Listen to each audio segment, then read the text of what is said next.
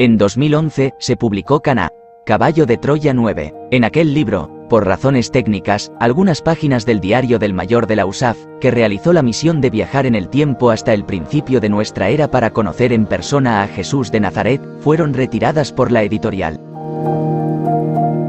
Ahora, aquel fragmento que recoge los seis meses, de abril a octubre del año 27 después de Cristo, en los que Jesús se vio obligado a huir para no ser capturado por el Sanedrín, ven la luz en la que será la última entrega de una de las sagas más vendidas de la historia.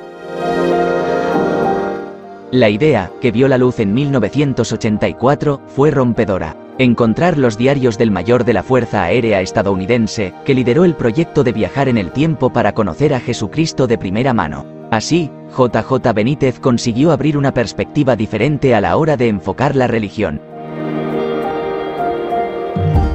Según esos diarios, lo que pudieron comprobar aquellos pilotos se alejaba enormemente de las respuestas que habían ofrecido los evangelios durante años, permitiéndole al autor expresar sus grandes críticas a la Iglesia Católica y al Vaticano, que según él, hicieron negocio a partir de un hombre que solo quiso traer esperanza a sus semejantes.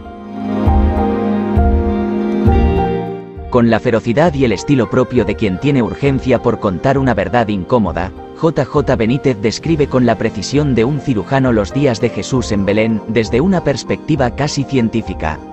Este volumen cierra, al menos temporalmente, esta saga tan polémica y conocida.